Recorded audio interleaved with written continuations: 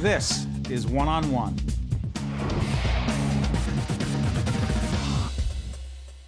Normally, this is one on one from the Tisch WNET studios at Lincoln Center, but sometimes you have to bring two powerhouses, two of the most important people when it comes to public relations and the brand of your reputation. We have right here John Doorley and Fraser Seitel are the co authors of Rethinking Reputation How PR Trumps Marketing and Advertising and the New Media World. Good to see you, gentlemen.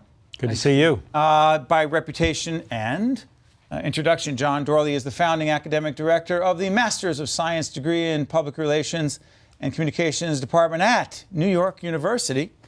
And uh, Fraser Seitel, your background is fascinating. You're an adjunct professor there in the Department of Public Relations and a consultant and author. You guys have been doing work in this field for a long time, haven't you? Well, he's, mu- he's much older than I am. I, I do not, I cannot tell that. Yes, yeah, that's Uh, the makeup. And full disclosure, I always have to do that. I have a relationship with John over at NYU where I've been teaching and describe the program where I'm teaching, but more importantly, the work that you're doing as the head of that program. Sure. Well, as you know, Steve, I was with Merck, head of corporate communication until 2000. We knew each other there, worked on some healthcare initiatives. And then I taught for a few years at Rutgers. An opportunity came to build this master's program at NYU. And uh, everybody, including the PR people at NYU, said it would never work. Who needs a master's degree in public relations? And we started it. There were four or five master's programs in the country. Now there are 72. We're the world's largest, but our students are getting great jobs. And I'm not sure it's a testimony to my wisdom or not, but this guy on my left is the first person I tried to recruit, and I did. I hadn't seen him in years, 2005, first faculty member I recruited. Couldn't reach him, so I sent him $100 worth of flowers to his house. True story. He had to romance the guy. Yeah. True story. Flowers. And he calls me and he says, Doorley, you're, this is the first time I've ever been courted in my life, and it had to be by you. so he did join our faculty, and now And that, was the the rest end, is history. and that was the end of my No, reputation. no. And by the way, let's get right to it, guys, because what you say is that reputation management is a different phenomena in the age of social media and the internet. That market, traditional marketing and advertising overrated. Talk about it. It really is true. I mean, today, with uh, so much communication 24 7, 500 cable channels, uh, everybody and his brother in law uh, transmitting on the internet, you have to have character. You've got to stand for something. Uh, what we say in the book is that what it takes first is performance. That's the key to public relations. Performance first, and then you communicate. PR, in our view, is performance recognition, the recognition of performance. In other words, you got to change the action. If, hmm. if you did have sex with that woman, you can't tell us you didn't. If you did, I did dope- not have sex with that woman, Miss Lewinsky. Exactly. That doesn't work because in the end you can't spin it, right? Because that's you have. A, by the way, get the book. You don't have to be an academic. You don't have to be in business. You have to be someone who wants to manage your reputation. Because you say, stop the spin.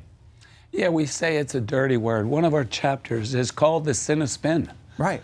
Uh, we think it's maybe the, uh, are there seven cardinal sins? Or uh, we think it's the next cardinal sin, maybe the seventh or the eighth, whichever right. one it is. It's a terrible thing to do.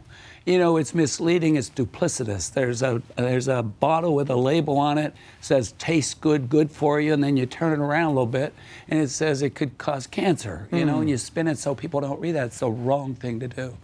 So that's what we teach our students at, at NYU. We have a required course in ethics. And getting back to what Fraser said in your, your question, Steve, it's a new era in communication. Paid media are the expenditures and the resources there are falling.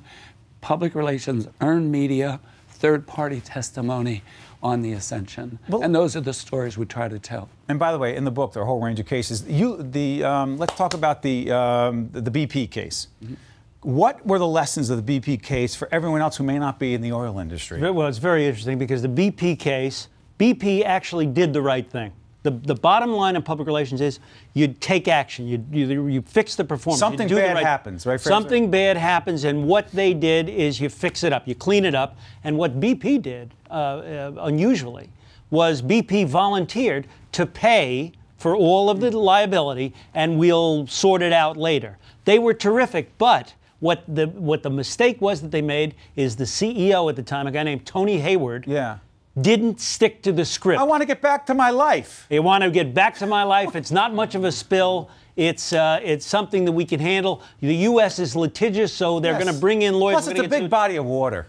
And so what happens is, so the bottom line is, because of him going off reservation, not sticking to the script, not listening to somebody like you or somebody like uh, Professor Doorley, BP's reputation was tarnished. Talk about that because in the stick to the script chapter, it talks about being disciplined, John. That is important for all the folks out there who say, come on, I say what's on my mind, shoot from the hip, the danger there. Yeah, and I think discipline requires thinking about what your reputation is, whether an individual or an organization. And, and the reputation, as we say in the book, and in a peer reviewed book that we have, a textbook, we say reputation is the sum of performance, behavior, communication based on your identity, what you stand for.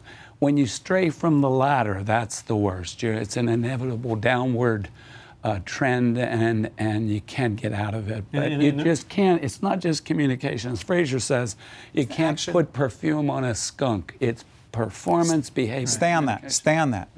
There are so many people who hear the word public relations Right. and they think, oh, and I don't want to use the word spin again, but if they say it the right way, I'll often tell folks um, in the work that I do when I'm coaching people, and I don't coach people in government because we interview people in government, but I'm, when I'm coaching someone, I'll say, look, what are you going to do to fix the problem? Stop telling me what you're going to say about what are you going to do.